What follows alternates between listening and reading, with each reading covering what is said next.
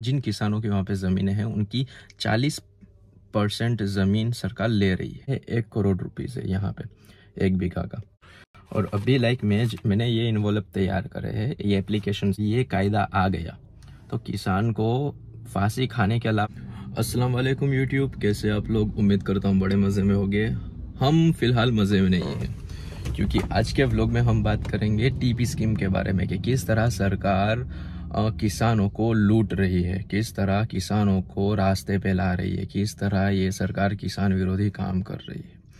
देखो अभी क्या चल रहा है? मुंबई में अप्लाई हो गया अहमदाबाद में अप्लाई हो गया राजकोट में भी अप्लाई हो गया। अब जूनागढ़ जहाँ पे मैं रहता हूँ अब सरकार क्या कर रही है कि शहर के आसपास जिनकी ज़मीनें हैं उन किसानों की ज़मीन बिना पूछे बिना उनकी आ, कोई भी कंसर्न के उस ज़मीन में से उन्होंने आड़े तिरछे जो मन पड़ा वैसे रास्ते निकाल दिए बड़े बड़े सेवेंटी सेवेंटी फाइव फीट्स के रास्ते, जिनके घर है, उनके घर चले गए, जिनके प्लॉट्स हैं, उनके प्लॉट्स चले गए, जिनकी ज़मीनें सपोज़ मेरी ज़मीन है, वहाँ पे किसी ने, सरकार ने किसी तरह का एक गार्डन डाल दिया तो मेरी ज़मीन लाइक जहाँ है, वहाँ से कहीं और डाल दी, अब उस ज़मीन पे मेरा बोलवेयर है, मेरा घर है, उसका क्या?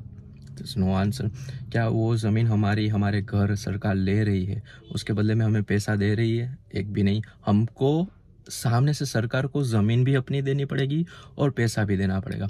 अगर मैं पर्टिकुलरली झांझड़ा जिस जिस एरिया में like I have my land उसकी बात करूँ तो they are asking six hundred and fifty crore rupees from the resident and farmers of Jhanjhra village जिसको अंग्रेज़ी में कहते हैं बेटरमेंट चार्ज इतना काला कायदा. और जिन जिन किसानों की वहाँ पे ज़मीनें हैं, उनकी चालीस परसेंट ज़मीन सरकार ले रही है.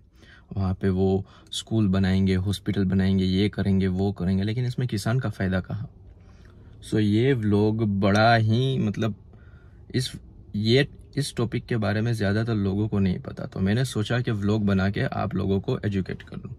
तो हमने क्या करा? हम सब किसान ने इकट्ठा करके जो अर्बन डेवलपमेंट बोर्ड है इस शहर का, वहाँ पे हमने एप्लीकेशंस दी और बहुत कुछ चीज़ें करी। अब देखो, जो ज़मीनें शहर के पास होती है, उनकी कीमत करोड़ों में होती है और यहाँ पे ज़मीन की कीमत particularly this side of city बीघा में होती है।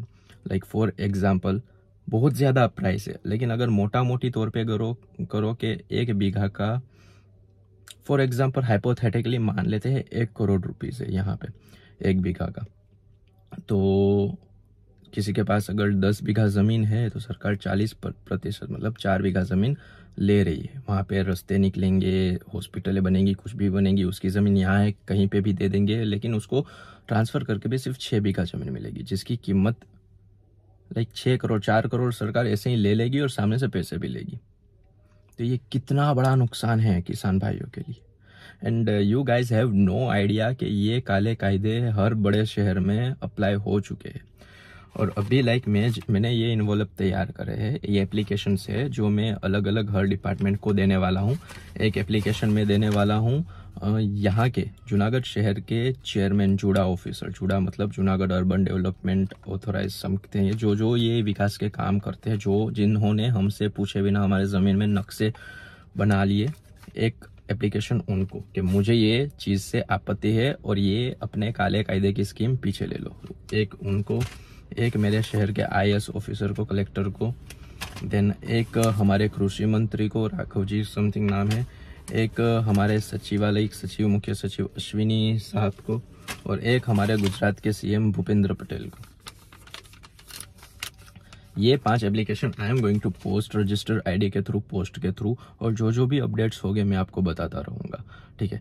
मुझे पता है, मुझे पता है कि लाइक नब्बे से 90 टू 95 परसेंट लोगों को इस टॉपिक के बारे में नहीं पता। इसलिए मैं व्लॉग बना के आपको एजुकेट करता रहूँगा। आप चैनल को लाइक और सब्सक्राइब करो और ये शेयर करो, ताकि लोगों को पता चले कि देश में एक्चुअल में हो क्या रहा है। अगर देखो, अगर ये कायदा आ गया तो किसान को फांसी खाने के अलावा मतलब आप चाहते हो कि शहर के पास विकास हो, ठीक है? आप चाहते हो वहाँ पे रेसिडेंट्स हो, ठीक है? हर जगह अपार्टमेंट घर को ही आपको डाल देना है हॉस्पिटल बना देनी है। अगर ज़मीन ही नहीं रहेगी तो खेती कहाँ से होगी? अनाज कहाँ से आएगा? अब किसान क्या पच्चीस पच्चीस तीस तीस किलोमीटर दूर जाके खेत लेंगे और वहाँ पे करेंगे खेती? शहर के पास जिनकी ज़मीनें हैं, उनका लाइक बेनिफिट ही ये है कि उनके पास एक कीमती ज़मीन है। वो दोपहर को घर पे आके खाना भी खा सकते हैं, फिर से अपनी ज़मीन पे जाके खेती भी कर सकते हैं। एंड इट्स वेरी मतलब उनके बाप दादा ने ज़मीन बेची नहीं कि उनके बच्चे यहाँ पे खेती करेंगे और फ्यूचर में बड़े ही अच्छे दाम पे बेच के अपने परिवार को नेक्स्ट स्टेप पे लाएँगे। उनके बाप दादा चाहते तो वो ज़मीन उस ज़माने में भी कीमती थी, उसको बेच के आराम से कुछ भी कर सकते थे अपनी ज़िंदगी में। लेकिन वो आधे बीमारी में चले गए, और आधे थे वो गरीबी में चले गए, और आधे को ढंग से कोई ट्रीटमेंट नहीं मिली, उनकी वजह से चले गए, लेकिन उन्होंने अपनी ज़मीन नहीं बेची। अब सरकार चाहती है कि 40 परसेंट ज़मीन दे दो, उसमें तुम्हारा बोरवेल है, घर है, तुमने अपने ज़मीन के चारों ओर जो बाउंड्री दीवार करी है कुछ हम नहीं देखेंगे। हम ज़मीन 40 परसेंट ले लेंगे, मन होगा वहाँ से रस्ते डालेंगे, मन होगा वहाँ पे गार्डन डाल देंगे, मन होगा वहाँ पे हॉस्पिटल स्कूल डाल देंगे, मन होगा वो प्लेट हम किसी प्राइवेट बिल्डर को बेच देंगे।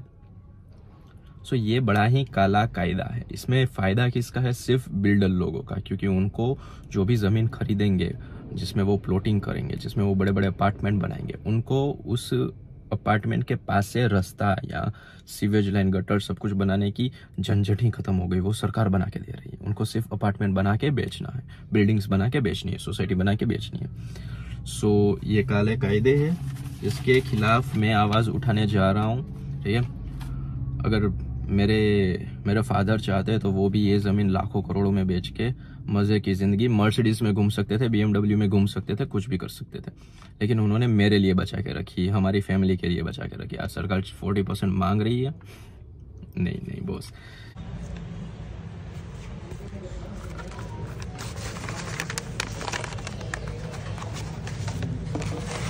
भाई, ये रहे सरकारी काम। यहाँ पे मैडम बोल रही है, दूसरी पोस्ट ऑफ़िस में जाके पोस्ट करो। यहाँ पे हमारी लिमिट हो चुकी है, हम सिर्फ़ दिन के आठ ही पोस्ट करते हैं रजिस्टर आईडी वगैरह वगैरह। सो जा रहे दूसरी ऑफ़िस जो थोड़ी दूर है।